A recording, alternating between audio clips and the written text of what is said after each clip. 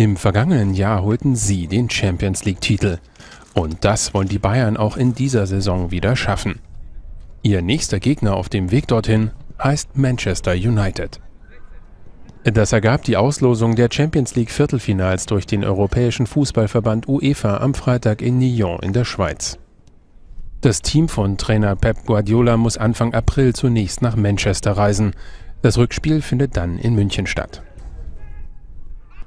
Dortmund-Trainer Jürgen Klopp und seine Borussen treffen auf alte Bekannte, ihren Halbfinalgegner aus dem vergangenen Jahr. Sie spielen Anfang April gegen Real Madrid.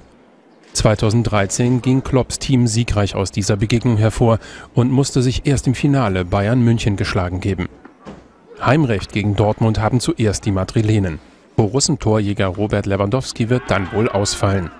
Reals Starkicker Cristiano Ronaldo dagegen ist derzeit als Torjäger der Königsklasse auf Rekordkurs. 13 Mal traf er in dem Spitzenwettbewerb bislang. Der Rekord wird von Barcelonas Lionel Messi gehalten, der in der Saison 2011-12 14 Tore erzielte. Barca muss sich im diesjährigen Viertelfinale mit Atletico Madrid messen. Die UEFA-Auslosung sieht außerdem vor, dass Paris Saint-Germain auf den FC Chelsea aus London trifft.